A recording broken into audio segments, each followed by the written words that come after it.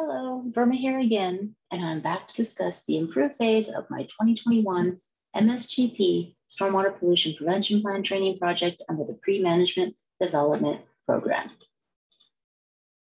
To review, in my define phase, I explained the background behind the Stormwater Pollution Prevention Plan, or SWPPP training, and how it stemmed from the Environmental Protection Agency, ultimately moving down the chain to the 2021 Multi-Sector General Permit, or MSGP. Currently under the MSGP permit, only the city of Albuquerque had jurisdictional authority to enforce it. So therefore, we have to start in our own enforcement efforts here in our own backyard. The scope of my project is to include the training of all employees under the permit and to have those employees completely trained and on a yearly schedule within three years of the start of the project. Additionally, this project will have three goals, one for each year. In the first year, I'd like to have at least 60% of my targeted employees training online. After the second year, 80%, and the third year to have all 100% employees completing their SWPPP training online. This project will not include the training of temporary employees. Under the measure phase, I reviewed the SWPPP training as it had been done in the past. The as is map signified the various ways which training was performed both pre and post COVID. Since COVID directly impacted our training practices, I included both aspects of training.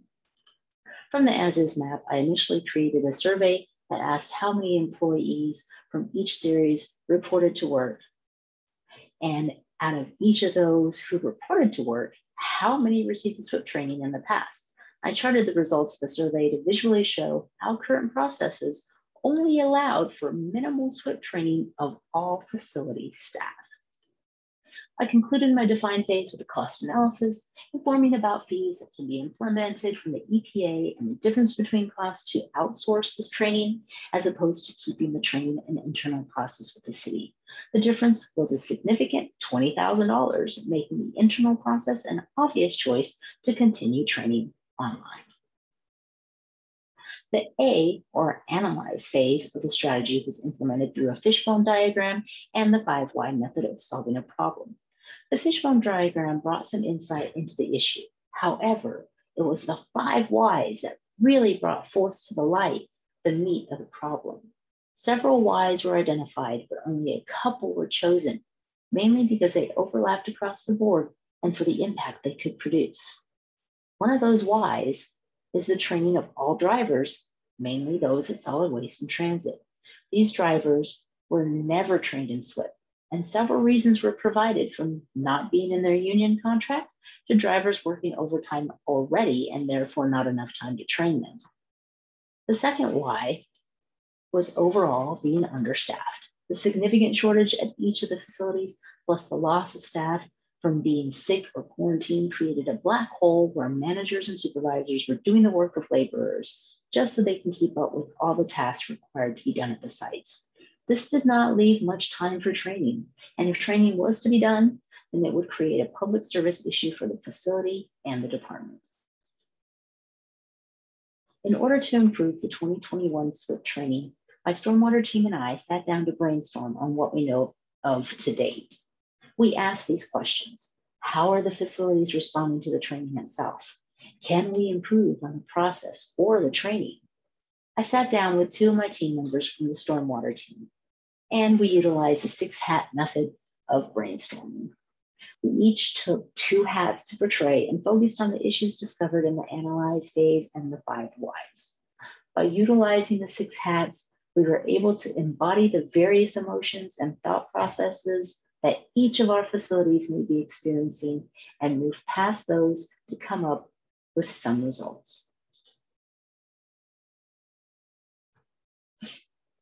We started with the red hat, he who represents fire and warmth.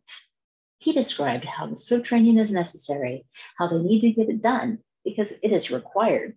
Red also stated, while gesturing with hands in the form of strangulation, that it will eventually get done one way or another. They just don't know it yet.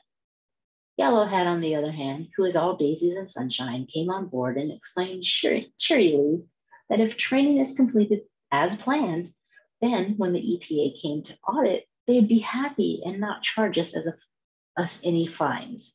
Additionally, Yellow explained it would just be better for the whole community because city would be contributing to providing cleaner water for everyone. And the drivers can also be lookouts for violations since they're out in the city all day, every day, and they can report what they know is a violation, so can it be addressed sooner rather than later. Black Hat went on next. He represents the dangers and risks expressed with a scowl. Everyone is complaining how there's just not enough time to complete the training. Everyone says it's not in their job description other than their union, and everyone says they don't have the budget. Black also cautioned that management in various facilities do not believe it is necessary for the drivers. And since we did not report the required DMRs to the EPA, we're going to get audited and fined anyways. White Hat, who represents logic, he voiced that yes, we missed our DMRs, but we also know the regulations and have the knowledge of past administration orders and fines. One of those past administration orders was to Transit, who had to pay over $25,000 for the violation.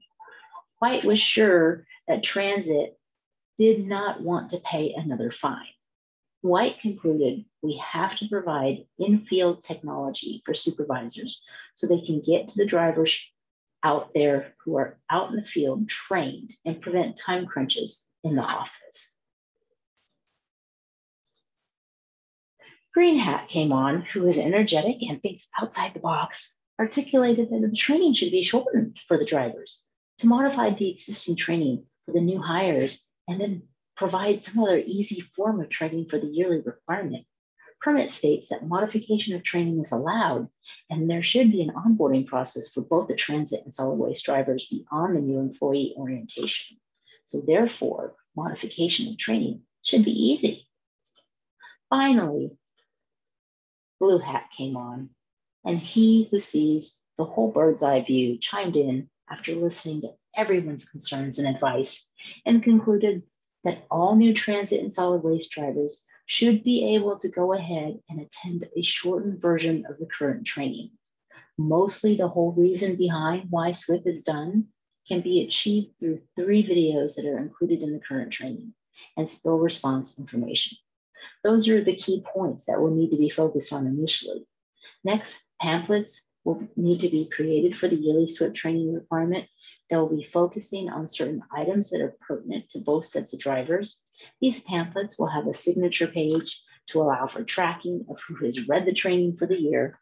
And additionally, the other facilities will have options to modify the existing training in order to help alleviate some of the short staff and lack of time concerns. These modifications should cover many, if not all, of the issues the current training has experienced and allowed for a greater amount of staff to seamlessly complete the SWPPP training. To activate our solutions, we focused on each one as a separate task. One of the issues discovered was the lack of time the facilities have due to understaffing and quarantine COVID restrictions. Everyone on the stormwater team agreed that having the M and the E series employees taking full SWPPP training online upon hire and every year. B Series employees will take full training upon hire and a modified online version, either individually or in a classroom setting, depending on the need and equipment availability.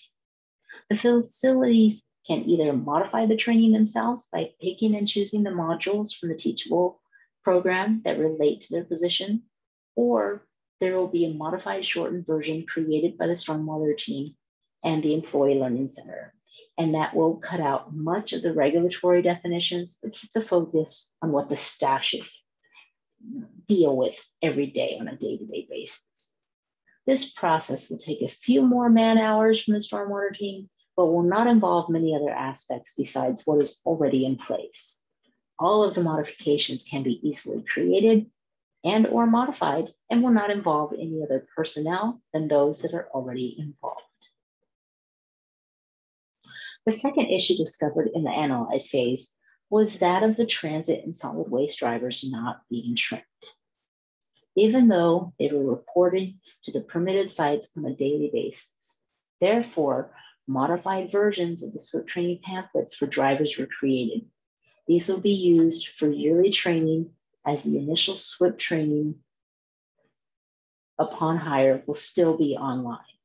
These pamphlets can be utilized for both transit and solid waste drivers and we'll have a signature area where the employee will sign and return to the supervisor, who will then, in turn, return it to the stormwater team. This way, yearly driver training can be tracked, and these pamphlets only took a few hours of time to design and can be dispersed digitally or in paper. Either way, it'll be up to the facilities to decide. If you recall the as-is map from the define phase of my project, it showed the SWPPP training process as it stood in the department at the start of the project.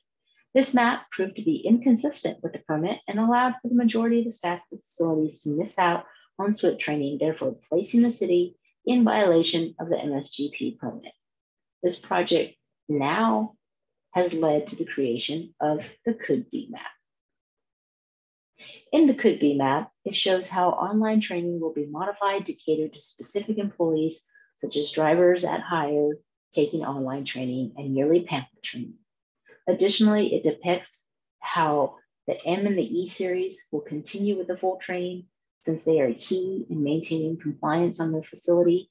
They will also need the full SWPPP training on a yearly basis while the B series will take or can take various versions of the training according to the time of valuable staff schedules and job descriptions.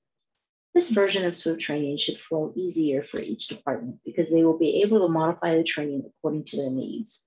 And this will provide a clear pathway for the facilities to train all personnel on site, allowing for them to walk through the process and provide options for obstacles which may hinder from having all staff trained.